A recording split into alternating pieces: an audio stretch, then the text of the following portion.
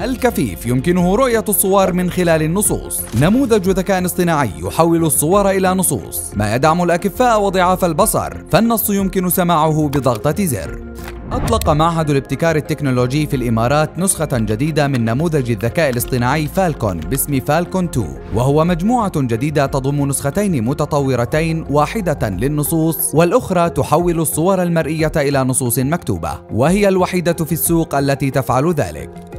يتميز فالكون 2 بأنه نموذج ذكاء اصطناعي مفتوح المصدر ما يمكن المطورين في جميع أنحاء العالم من الاستخدام والوصول غير المحدود. كما يضم نظام الرؤية إلى اللغة ما يجعله قادرا على تحديد وتحليل الصور لتوفير مجموعة من التطبيقات في قطاعات منها الرعاية الصحية والتعليم والتجارة الإلكترونية سواء في إدارة الوثائق أو الأرشفة ودعم الأكفاء وغيرها. إضافة إلى قدرته على التعامل بسلاسة مع المهام بلغات متعددة هي الإنجليزية والفرنسية والإسبانية والألمانية والبرتغالية والعديد من اللغات الأخرى.